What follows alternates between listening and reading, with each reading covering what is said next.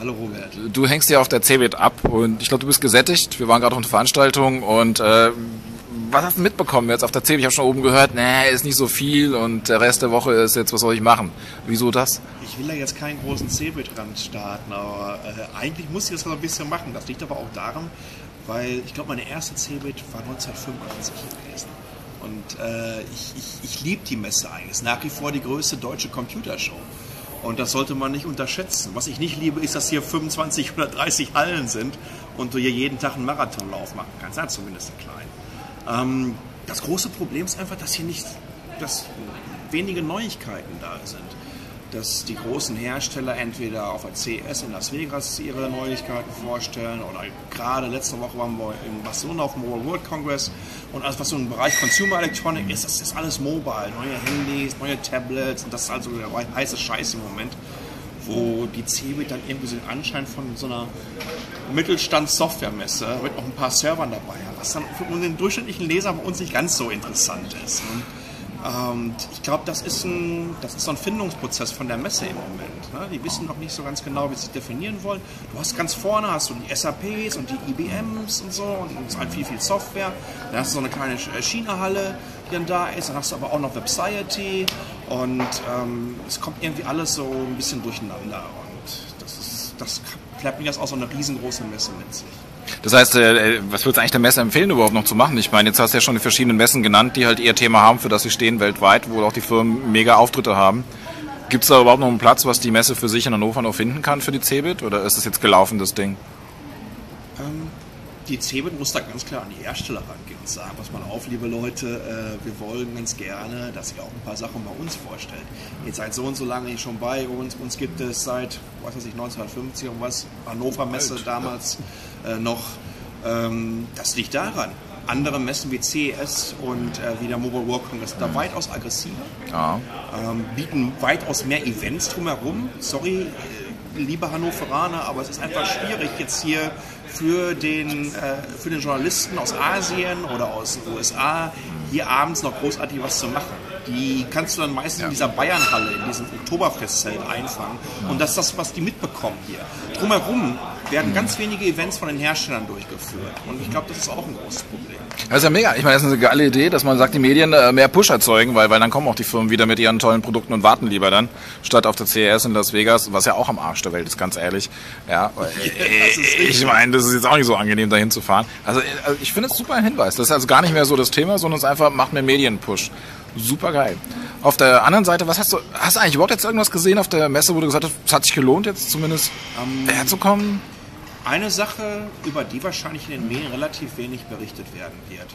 Und zwar hat äh, hier Zeiss äh, aus Jena so ein 3D Virtual Reality äh, Glas äh, äh, Brillengestell da, was einen Sensor eingebaut hat, mhm. Äh, der sowas von feinfühlig ist und setzt es auf und es sind zwei 1 cm Bildschirme vor dir und du wirst halt voll in diese Virtual Reality reingesaugt. Und du bewegst den Kopf echt nur so einen Millimeter und es wird sofort übertragen. Ne? Also in, innerhalb von wenigsten Millisekunden. Und das war völlig abgefahren. Also sowas Cooles habe ich ehrlich gesagt noch nie erlebt. War so wie so dieser typische Wow-Effekt. Wow. Ich sage, es war ja. Wirklich klasse und toll, dass ich es hier erlebe. Ansonsten von den Produkten her, ähm, ja, hier ein paar Ultrabooks, äh, hier ein, ein Tablet neues, aber nichts, was jetzt irgendwie mich so umgehauen hat. Überhaupt nicht. Wenn Intel schon Taschen für Ultrabooks vorstellt, dann ist das so der Punkt erreicht, wo ich denke, hm, ist das noch die Veranstaltung, auf der ich sein muss? Irre, ne? Ja, ist schon erstaunlich. Aber Nochmal, das äh, Flaggschiff. Das hat jetzt nichts mit der Qualität von den oh. Tablets oder von den Ultrabooks hier von ja. Intel zu tun. Aber für mich einfach so ein bisschen deplatziert gewesen. Hast du mitbekommen, dass die Autohersteller hier ein bisschen was machen? Ja, ja. Hast du das mal angeguckt ähm, oder geht das so ich, bei dir vorbei? Ich äh, war kurz bei Audi am Stand. Ah, ja.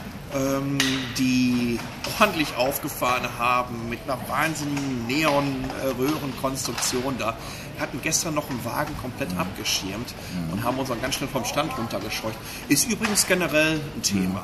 Mhm. Ähm, der erste ist es ganz lustig. Äh, obwohl, ich, obwohl ich Deutscher bin, ist die erste Firma aus dem automobilen Sektor, die auf mich zugekommen ist, vor knapp zwei Jahren Ford gewesen. Ford. Naja, die sind früh dran gewesen. Die, ja, ja. die sehr proaktiv auf ja. Tech-Blogger zugegangen Irre. sind. Und mich einfach damals gefragt haben bei der CS vor zwei Jahren, ähm, ob ich nicht einfach mal ähm, so ein 20 Minuten Roundup-Interview geben kann äh, und, und ein bisschen erzählen kann auch über, über, über äh, zukünftige Technologien, die ich in diesem mobilen Bereich sehe. Und wenn du siehst, wie die ja von dieser Bailout Company Ja. sich zu einer sehr progressiven, technologieumarmenden Firma und damit meine ich jetzt nicht, äh, dass Audi, Mercedes, BMW nichts mit Technologie zu tun haben. Im Gegenteil. Das Problem ist, der Kunde sieht von der Technologie, die in diesem Gerät relativ wenig. Richtig. Wohingegen Ford ähm, versucht, hier so eine Seamless Experience herzustellen. Oh. Man darf eins nicht vergessen. Ähm, ich kann es mal, genau. aus der Tasche raus. Äh, es gibt genau drei Geräte, die wir den ganzen Tag nutzen. oder Die drei wichtigsten Geräte. Das ist zum einen das Telefon, das ist zum anderen der Fernseher und das dritte ist das Auto. Und Automobile sind ähm, über Jahre wirklich vernachlässigt worden, in diesen Kontext überhaupt zu, äh, gebracht zu werden. Das heißt, ähm, Seamless Experience zu erzeugen wäre zum Beispiel, ähm, die Kids schauen vom Fernseher gerade die Sendung mit der Maus, müssen aber jetzt gleich zum Fußballtraining hin, werden ins Auto gepackt, äh, sitzen auf der Rücksitzbank und gucken genau an dem Moment weiter, wo sie gerade im Fernseher geil. aufhören. Ist Ja. alles möglich. Ja. und äh, da muss ich ganz ehrlich sagen, Hut ab Ford, die geben da richtig Gas. Das heißt, du meinst auch, also ich meine, ist interessant, wir hatten ja so Player wie, wie Intel, ey, okay, gut, dann haben wir noch Microsoft, gut, dann haben wir noch Asus und all die anderen Player aus Asien. Das heißt, du, du, wenn ich richtig verstanden habe, du glaubst, dass die Autofirmen so ein bisschen was bringen werden aus ihrer Ecke auf einmal, Impulse in die IT hinein? Absolut. Weil bisher ist es ja immer umgekehrt gewesen irgendwo, oder? Gen genau, das, genau das wird passieren. Natürlich ist die Automobilindustrie auch äh, abhängig von dem, was Zulieferer Genau. drumherum bauen. Ja. Aber das, was, ich sag jetzt mal, vor fünf Jahren der Tüftler um die Ecke gemacht hat, der sich einen Rechner ins Auto reingebaut Ja. hat, hinten TFTs rein, diesen ganzen Schnickschnack. Ja. Ja, ähm, das wird mittlerweile wirklich aus einer Hand äh, geliefert und dadurch, dass das Auto ähm, ja auch Sender und Empfänger wird in Zukunft. Äh, zum Beispiel Proton hat gerade in Malaysia mit, mit dem örtlichen Telco das erste 4G-Car als erste LTE-Auto äh, gelauncht und es hat jedes Auto ein LTE-Hotspot da äh, von Proton. Und ich finde das einfach nur genial. Wie cool ist das denn? Ne? Und, oder wenn du zum Beispiel Sachen anschaust wie Tesla, die äh, zwar eine sehr, sehr kleine Autospiele aus den Staaten äh, für Elektroautos, aber diesen Tesla S, der ein, ein tolles Multimedia-System mit so einem 17 Zoll äh, Touchscreen hat, auf, einer- auf einer Tegra 2 Basis von Nvidia, also das, was wir auch in aktuellen Smartphones drin haben, und die wirklich echt so äh, alles ausprobieren, was da gerade möglich ist und das ins Auto packen. Sobald diese Automobile da sind, wird das ein richtig große Auswirkungen haben auf, auf äh, PC-Hersteller, auf Smartphone-Hersteller. Das heißt nämlich ganz einfach, ich werde zum Beispiel eine App auf meinem, äh, auf meinem Smartphone Genau. haben und kann gucken, wenn ich ein Elektroauto habe, sitze zu Hause, wie immer, wie ist der Ladestand Ja. von der Kiste, Richtig. bevor ich morgens ins Büro Zum. Beispiel. Genau. macht der Tank? Wie geht's den Reifen? Was ist der Reifendruck und so weiter? Ne? Solche Geschichten. Das nächste wäre dann natürlich, ähm, dass ich das genau umgekehrt mache. Was ich, wenn ich, wenn ich ein, wenn ich ein Ultrabook habe, kann ich das natürlich ähnlich machen. Ne? Oder dass ich zum Beispiel auch Inhalte äh, wireless auf das Auto übertrage.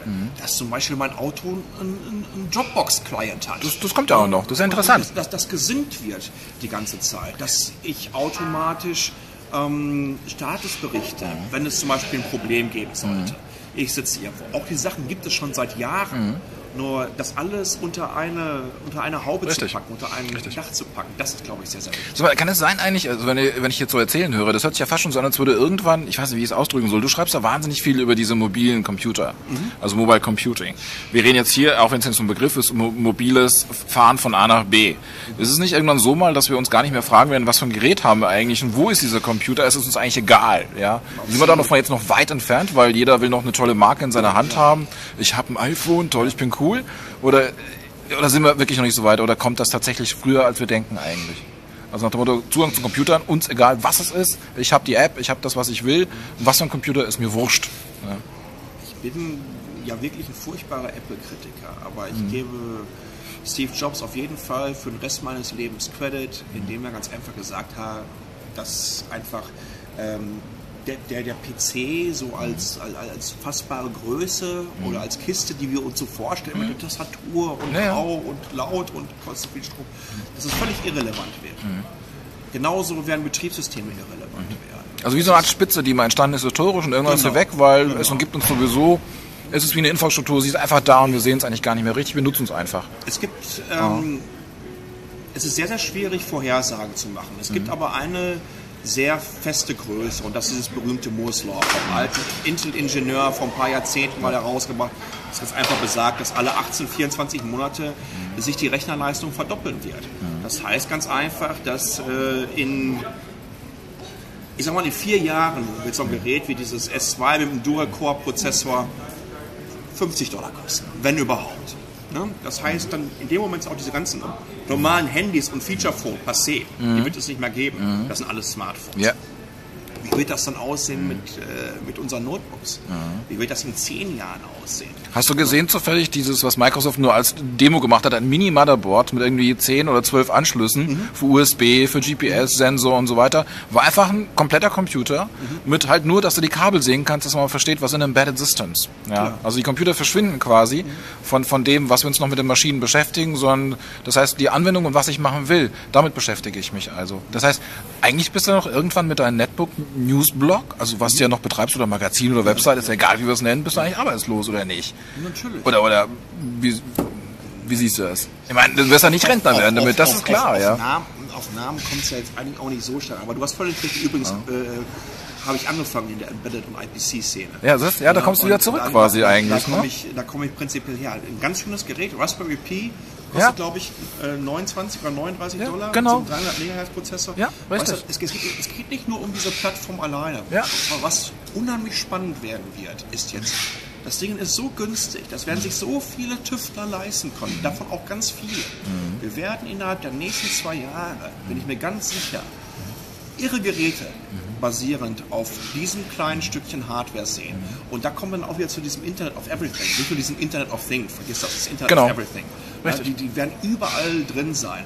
Und äh, wenn wir nochmal von diesem Moore's Law ausgehen, worüber wir gerade gesprochen haben, dass es äh, alle 24 Monate sich extra, in etwa verdoppeln wird und äh, dass, die, ähm, dass die vor allen Dingen immer kleiner werden, die Plattformen. Äh, In, in 25, 30 Jahren werden wir, werden wir CPUs haben, die so klein sind und so wenig kosten, wahrscheinlich weniger kosten als ein Glas Wasser und die wirklich überall rein verbaut werden können. Also was, was ist eigentlich das Geheimnis dann, was sich da bewegt? Ich meine, was, ich, nach dem Motto, ich mache Dinge, weil es mir Spaß macht, gut, es ernährt mich noch. Was ist es aber dahinter? Eigentlich ist es ja nicht die Netbooks. Man, man verbindet dich ja immer mit den Netbooks, ja. Du bist Mr. Netbook, ja. Mittlerweile sogar weltweit, was ein mega Hammer ist, ja. Nur, nur ist es wirklich das, diese Mobile Computing oder was ist es eigentlich, was dich daran so fesselt und fasziniert? Ähm, warum machst du das eigentlich? Zum Why? einen bin ich erstmal ein absoluter Geek. Ich stehe Ah. halt auf Technik. Und ähm, ich glaube, dass ähm, kleine, kostengünstige Rechner unsere, unsere Welt einfach komplett verändern werden. Ähm, ich habe vor etwa zehn Jahren mein erstes Mini-ITX Mainboard bekommen. Das war 17 mal 17 cm groß, wie eine CD-Hülle. Das ist genau der gleiche Formfaktor. Habe das ausgepackt und habe gesagt, oh wow, das ist es.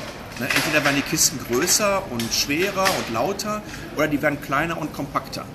Und äh, dann habe ich meine erste Firma auch damals aufgebaut. Dann habe ich nicht genug Geld gehabt, Irre. um Marketing zu machen, habe eine, eine eigene Community gekün- äh, Ja. gegründet. Ja. Und so hat sich das entwickelt. Die Geräte sind weiter kleiner und Ja. kleiner und kleiner geworden. Ne, so eine Kiste hat mittlerweile die Performance vom Desktop-PC von etwa sieben Jahren. Ja, und äh, das, das wird so weitergehen. Und genau das ist es. Es sind so Sachen wie zum Beispiel dieser Raspberry Pi, wo ich mir einfach mir vorstellen kann, ey, pass auf, für 29 Dollar, das können sich vielleicht auch irgendwelche einkommensschwachen Familien leisten. Die, sch- die schenken das Ja.